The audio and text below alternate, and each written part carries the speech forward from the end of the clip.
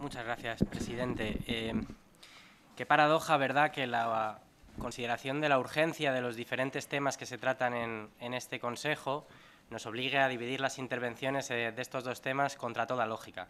Lo urgente es responder al chantaje planteado por el gobierno de David Cameron, eso es lo que no puede esperar y lo que requiere que nos reunamos de urgencia en un lugar excepcional, y lo que no es urgente y no implica decisiones es la crisis de los refugiados que en el pasado mes de enero causó ocho muertos al día. Casi 4.000 muertos van en las fronteras y en el interior de Europa. Y sin embargo, usted mencionaba antes, decía, la Unión Europea está puesta a prueba. Qué paradoja también que esa Unión Europea que fue tan inflexible y se mostró tan, tan fuerte para gobernar la crisis griega, que ahora se muestra tan dócil para responder a las exigencias del Reino Unido, sea tan incapaz o tan carente de voluntad para poder asumir y abordar lo que son sus compromisos internacionales y sus obligaciones con el derecho internacional más básicos.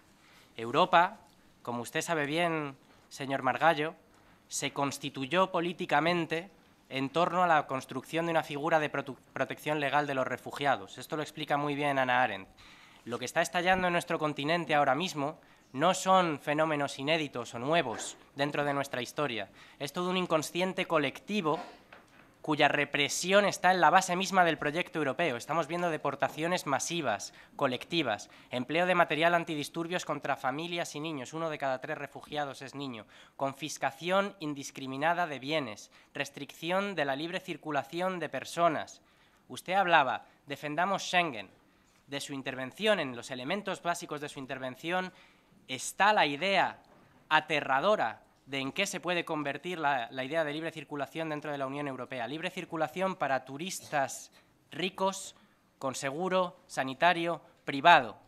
Mientras impedimos la reagrupación familiar, mientras impedimos la concesión de, asilos de, eh, asilo diplomático político, la concesión de visados de tránsito, para personas de origen sirio, estamos muy preocupados en facilitar las condiciones de establecimiento de lo que usted ha mencionado, 15 millones de turistas británicos en el Reino Unido, una movilidad asimétrica, permanente, que en el fondo esconde lo que son las barreras estructurales del modelo europeo. Yo le quería, eh, señor Margallo, primero hacer unas preguntas respecto a la, a la posición de España en este debate y a continuación pedirle que traslade una serie de puntos en la reunión de mañana. Las preguntas tienen que ver con, básicamente con esa cifra que ya se ha mencionado, 18. 18 refugiados reasentados en España, de los miles comprometidos. ¿Por qué? ¿Qué está pasando? ¿Cómo explicamos eso a la ciudadanía que nos ha votado? Le quiero preguntar también de los 200 millones que estaban consagrados en los presupuestos generales del Estado al programa de reasentamiento y reubicación de refugiados, ¿qué ha pasado con esas partidas? ¿En qué se están empleando? ¿En qué se traduce? Ese esfuerzo presupuestario. Le quería preguntar por qué llevamos seis años sin desarrollar el reglamento de la ley de asilo. Le quería preguntar también por qué se han producido recortes a la vez que hay esa dotación presupuestaria en los fondos destinados a los programas de acogida. Y le quería preguntar también qué quiere decir solidaridad con Grecia y solidaridad con Italia, porque en las cumbres, en las reuniones, se nos llena siempre la boca de esa solidaridad mediterránea con los países que son hermanos, eh, que consideramos hermanos nuestros.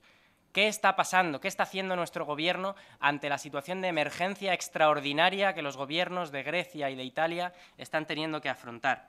Y tras esas preguntas quería pedirle que por favor traslade en la reunión del Consejo en lo relativo a este punto una serie de, demandas. Lo primero, que, traslade esta indignación respecto a la consideración de la urgencia de un tema y del otro. No puede ser que estemos sin tomar decisiones cuando están muriendo eh, personas, incluidos menores de edad, todos los días en nuestras fronteras y dentro de ellas. A continuación, le quería pedir una cuestión técnica, pero que también es de sentido común, que todas las inversiones que los Estados miembros dedican a la atención a los refugiados no computen eh, en las consideraciones del déficit de cada Estado y que no computen como ayuda oficial al desarrollo porque no lo es. No lo es. Se está considerando como parte de la ayuda oficial al desarrollo lo que son gastos de, para atender una situación humanitaria de emergencia. En tercer lugar, usted ha mencionado la necesidad de aportar vías, de garantizar vías seguras y legales de acceso. Eso no es algo performativo, a diferencia del patriotismo a la Butler, eh, es algo que necesita garantías, que necesita garantías y que se traduce en figuras muy concretas, visados humanitarios, posibilidad de reagrupación familiar, unificación de las políticas de asilo diplomático, eh, supresión del requerimiento para las personas de origen sirio de solicitar visados específicos, que se les concedan visados de tránsito. Hemos hablado de la incapacidad del protocolo de Dublín para responder a esta crisis. Tenemos entendido que va a haber una reunión en el mes de marzo, que el Gobierno de España lleve a esa reunión una propuesta en este sentido real y que nos podamos, que podamos aportar a ese sistema de garantías para terminar con lo que es una serie de corredores de la muerte que lo único que hacen es alimentar e incentivar las mafias que se están lucrando eh, con este drama humano. Usted aborda, eh, Cuarto punto que le quiero pedir que traslade mañana. Ha hablado de abordar las causas estructurales. Acabo, acabo en 30 segundos. La situación en Siria, la situación en Yemen, los tambores de guerra que se empiezan a escuchar en Libia de nuevo. Todas estas situaciones están en la matriz, en la raíz del conflicto que estamos viviendo en Europa y necesitan soluciones de profundidad y de largo alcance. ¿Qué posición está adoptando el Gobierno de España para facilitar esa mediación, para involucrarse en las negociaciones de paz, para garantizar corredores humanitarios, una tregua, un alto el fuego, el, fin de los bombardeos sobre la población civil? Algo que está en nuestra mano, y que es clave para poder estabilizar la región, el reconocimiento inmediato del Estado palestino para poder reactivar las negociaciones de paz en lo que es el epicentro de la inestabilidad en la región. Hay una PNL de este, de este Parlamento que autoriza ello. Incluso el Gobierno en funciones podría tomar esa decisión.